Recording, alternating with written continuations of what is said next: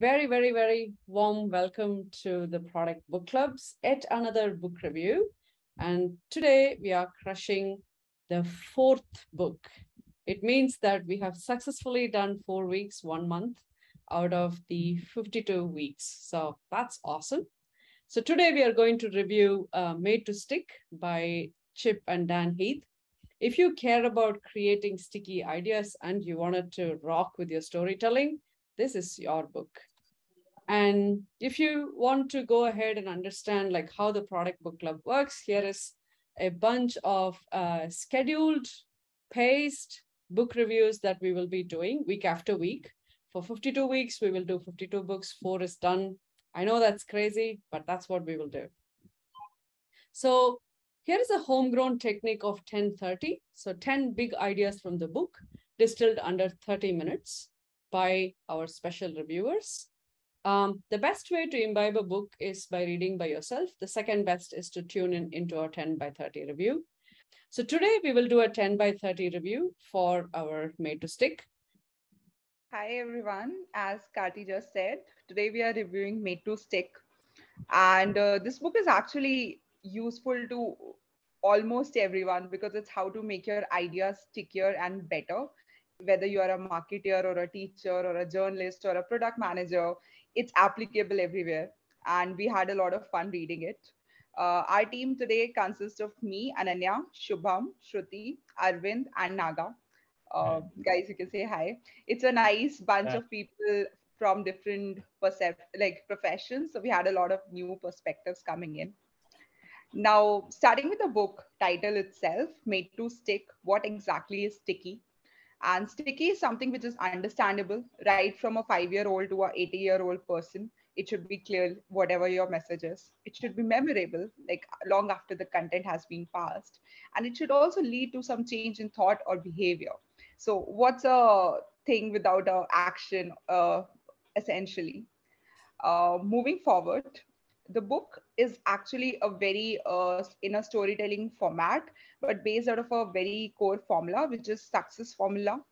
And it's quite sticky because we're all quite obsessed with success. Uh, it essentially means simple unexpected concrete credible emotional and stories. These might look like abstract concepts right now but as we move forward through the review each of these concepts would be explained with a lot of examples and how we can actually use it to make the idea sticky. Uh, over to the first idea, uh, Shubham. Hi, everyone. So yeah, continuing from the Ananya, what she said. So first idea is about simple. So how your idea should, should be so simple that to make your idea effective, it is very important to the to the extract the, the core of the message and then keep the whole everything like idea simple when you say so many things or like three things, you say nothing. So let me give you an example, very relatable to Indian context. In this film, like how you communicate during the war situation, because this whole environment is like so noisy, unpredictable, chaotic. The context is not easy. So how to communicate? How the commander will communicate the very intent of it. So they try to uh, communicate with the intent. So in this scene, you you must those who have seen the picture, in the scene they have planned it everything with with all the visuals with with all the like minute details. But in the at, the end in the in the movie they plan to go uh, into the territory via uh, like air by flying there. But somehow they, they they they are not allowed and they need to change the plan. So as per the plan the intent was to go there. So by the so they change the plan in the air and they go by a, some kind of like tunnel which which already dug by the terrorist and they used it. So intent is to like hit them fast, hit them hard, and come back with zero casualty. So you can see the, the way to success is simplicity. Strive the idea to the core and no superfluous an element at all. So intent was clear. We need to go there, we need to come back safely, and we, we do the rest of everything. So these kind of communication help us to stick like uh, what Shubham told was the author calls it commander's intent, right? Instead of putting across the entire plan, like tell the intent to everyone so people will act accordingly. So I will I will try to double double that up and tell uh, explain you simple is equal to core plus compact. Like let's see with an example in the next slide. So core core is something which is important, right? Like whenever you're talking something, like whenever you, when you, you're talking in your meetings or something, people ask that what is the core of the message? Like what are you trying? What subject to? What are you trying to achieve? Right? So core is something which is uh, very important. And let me take an example. Southwest Airlines, right? So Southwest Airlines is uh, one of the low cost airlines, and it is one of the very few airlines which is profitable in last 20, 30 years. And uh, in Southwest Airlines, they have a very core message that is we are a low cost, low cost airline. And that was, uh, uh, let's let me tell through a story, right? So it's, it's very relatable. There was a time when one of the air hostess came and told uh, the senior management that uh, told the senior management that let's add chicken salad in the menu. Like people, people love it a lot. They gave a lot of feedback. And then um, how to decide now, right? Uh, the CEO uh, gives only one uh, tool to them, like uh, what's our core message? Like uh, it is low cost airlines. Then he asks the air that if we add the chicken salad to the menu, will it uh, make us a low cost salad? Like if it makes it, then please add it. If it does not, then don't add it. It's very clear to them. So it's it's it's very the core message is uh, simple and uh, it's uh, core core is there as well as compact. Like let me let me say what is compact and why it should be compact right? So uh, compact ideas help people learn and remember a core message. Like if you say a core message and tell them like one paragraph two paragraph and so on right very big people are not going to remember it. So it has to be very compact and i'll give you one more example like it was 1992 when uh, clinton was running for uh, president and it was clinton's campaign and clinton was kind of a person like who used to uh, talk and then react to every messages. And Clinton's campaign manager itself was uh, very uh, unhappy that he's not very focused.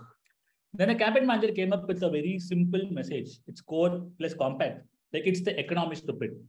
Then they spoke more about the economy is not doing good and we would have to work on that. And this was the message. Like anyone in their party, if they talk about, they will talk on those things. It's the economy is stupid. Is equal, simple is equal to core plus compact. So if you do this, then your idea will stick forever. Now you understood the how how it sh- idea should be simple uh, to the core and compact. Now how like make you understand? So the human way like mind works in in through the schemas. So what is schema? Next big idea is about schemas. Schemas is nothing but but to understand the uh, how to understand a complex situation by by using pre-recorded information from your mind and try to visualize something which is relatable to us and try to understand the bigger uh, like idea. Let me give you an example in the next slide. So can you guess uh, what is is all about? Like, can you guess the picture? Some more, some more guys. Sun. Yes. Sun is like uh, you. The moment you saw a picture, you create a sun in your head. This is a electron model. So this was actually electron model which we studied in in our class, and actually just to relate, this is called as actual real. In reality, this is just a probability of cloud where in the whole cloud, electron can be anywhere. So to make you understand, authors or the in the textbook from from the from your school childhood days, they they started related to the solar system. But in reality, electron don't have a like precise path and, and mass. It's just a probability of cloud. Next thing is a third big idea, which is about gap theory. So what is gap theory? So they are playing around with all sorts of like emotions like curiosity it happens when we feel a feel a gap in our existing knowledge and this gap creates a pain and this pain tend to stick in our memory which actually plays around when we uh, when we actually binge watch so what is happening in the, in the series at the end it gives us a pain actually so that's why you tend to escape to the next episode to the next episode and that's why you binge watch and the next set of similarly like mysteries. Mysteries are painful. They create the need of closure. By using the the, the same phenomenon, the Hollywood and the Bollywood, they are all using all sorts of juices, creative juices, because mysteries is like a like a science experiment, where the end result give you a sense of accomplishment. Achieving it to the end of the mystery will give you a sense of like like sense of achievement. So the, all sorts of these surprise mysteries will cater to an idea which will stick you in, in your memory. When do we find something considerable? Uh, what source or person do we find uh, con- do we consider credible? Let's uh, let's ponder over that. So as you all can see uh, we are uh, especially in this day and age we are there's an immense information in, in overload we are spoiled for choices. So in such a scenario whom do we whom do we consider credible? So there are there are two ways look uh, that we look at it. One is your uh, uh following what your celebrities or your influencers tell us. Uh, as here suppose you want a protein shake uh, you look at a poster of virat kohli and you you are pretty convinced that what he's showing is uh, credible. Secondly we um, we trust experts a lot expert opinion. So if there's a recession today whom do we trust? Is it a mere uh, hearsay? Is it a uh, is it a rumor? Or is it validated by say the world bank or an imf we will trust it in that case right? However i want to take you all to another concept which is concept wise it's called anti authority but it's pretty pretty simple so very recently i was on a trip with some unknown people and uh, in a travelers group and i met this lady. We were in the car and we we didn't have any point of conversation. We didn't know each other. But i realized that her skin her skin was amazing. It was i mean it was it was very it was really be- it was really beautiful. So i asked her that you know what what do you do and what what what do you use? She was more than happy to explain tell me what she does and uh, what she what product she uses and uh, coming coming from someone like that from whom i can uh, it's a uh, it, it's it's a see, said thing right? That it is uh, her skin is good. I would any i would trust the products uh, with closed eyes. Another thing uh, another thing is how often do we believe someone who has details? Almost always right? We always give it a thought so how many of y'all consider someone with knowledge as a proxy for expertise we all do that right we all would think uh, think through this so consider someone who's a couch potato and he considers he considers running. He, next level, he goes to 10K, then say he plans to run a 21K. The, um, the, the whole thing, it hits him harder. It goes on a 42K, ultra marathon. The whole chain keeps on going.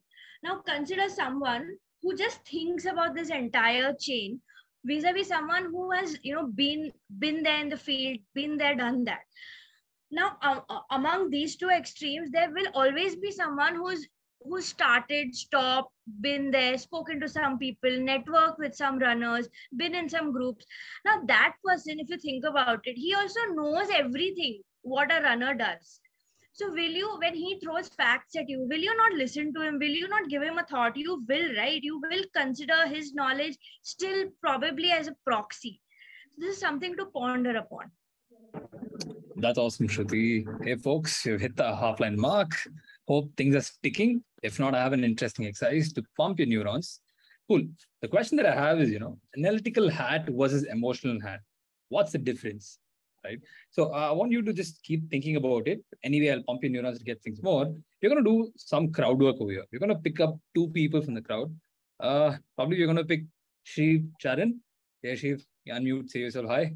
Uh, we have Kaushiki and we have Naga. Okay, superb. Hey, Kaushiki.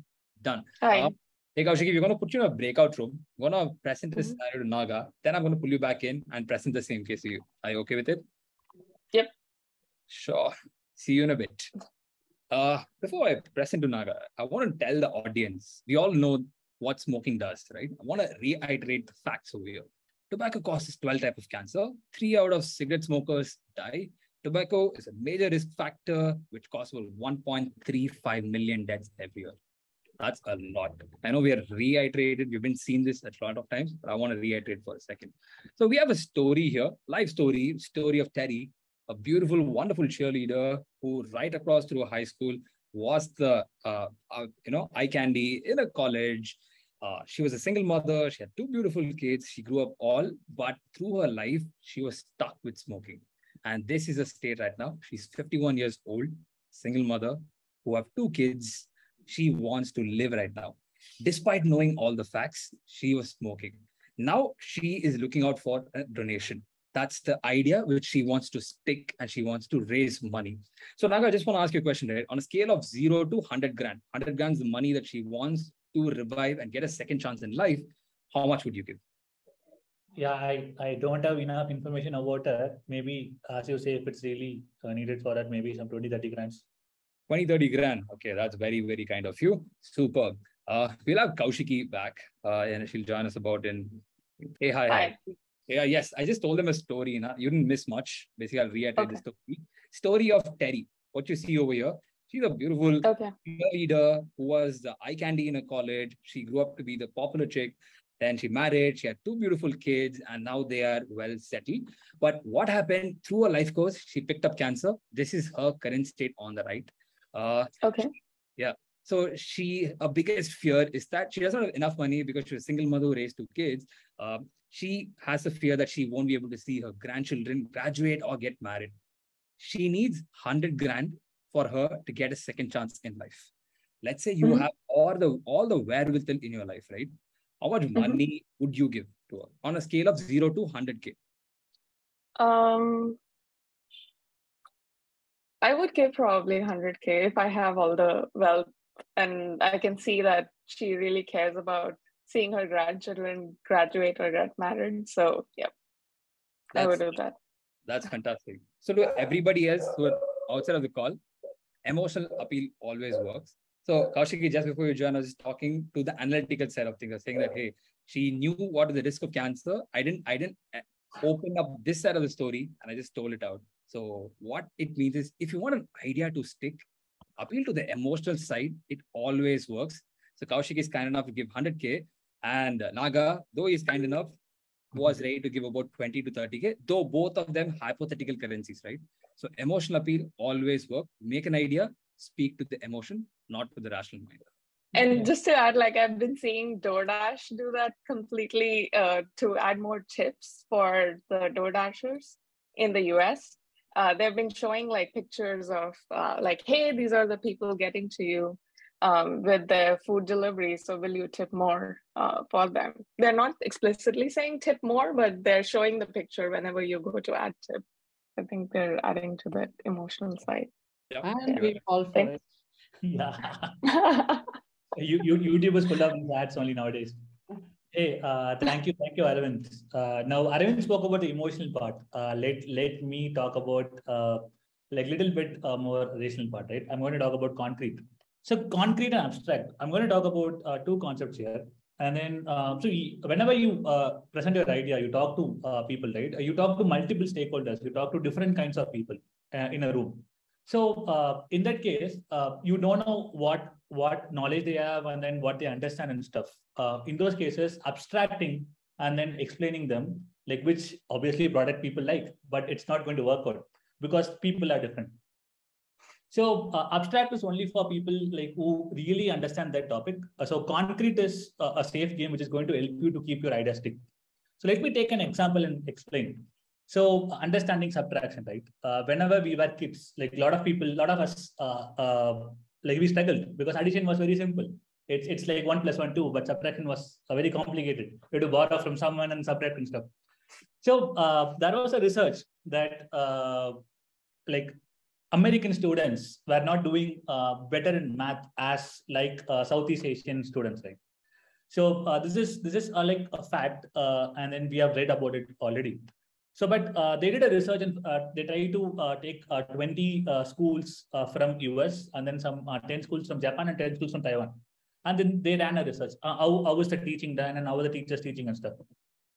They found out that uh, in the Southeast Asian um, uh, like uh, countries right, like Japan and, and Taiwan, like people people uh, took some ideas which were already known to these people. Like for example, when they taught subtraction, they said, uh, let's take your five balls and your brother takes three balls and how much do you have and then uh, they taught that okay there are 50 50 tiles put in five rows 10 10 slides each 10 tiles each and we're removing 20 20 tiles how much it is so they were trying to use that uh, the concept which they already know that that concrete uh, uh, thing and then trying to uh, explain them the abstraction like like that's how these schools were uh, very successful in mathematics when compared to uh, the schools in the us so this is this is one of the examples where uh, concrete, uh, if you if you be very concrete on what you're saying, it's going to sell. And concrete is also a way of mobilizing and focusing your brain. Like let us do an activity, right? White things activity. I, uh, the author calls this white things activity. I'll I'll give you one thing. Like try to write down or try to uh, uh, like think uh, as many things that are white in color you can think of. Like try to think about it. Like I'll just uh, we'll take some 15 20 seconds now I'll make it more concrete. Think about things in the refrigerator which are white. So uh, even I did this exercise. Even I had the same thing. Like when I was thinking about white, I was not able to think much. But when I was uh, trying to think more uh, specific, like concrete, the refrigerator is the concrete thing here. Like I was able to think more. So so it's it's about it, it keeps your brain focused and then it, it makes you think and it makes you relate. So whenever you communicate, for example, uh, if you tell uh, in, in, any company, in any role, uh, the, the management can say that we want to build the best in class customer experience. So, but everyone in the room won't understand what is best in class. But if you say that I want to build an experience which can improve the CSAT by X percentage or improve the NPS by this much, people will exactly understand what you're going to do. So uh, be as concrete as possible because you won't know what everyone in the room uh, knows already. So, so your uh, ideas will stick. So building on what just Naga said, to understand what sticks also uh, one of the interesting things that the book mentioned was how memory works.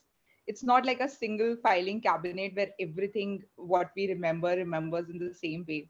Say for example the date of the world war ii and the events there versus the plot of the movie schindler's list.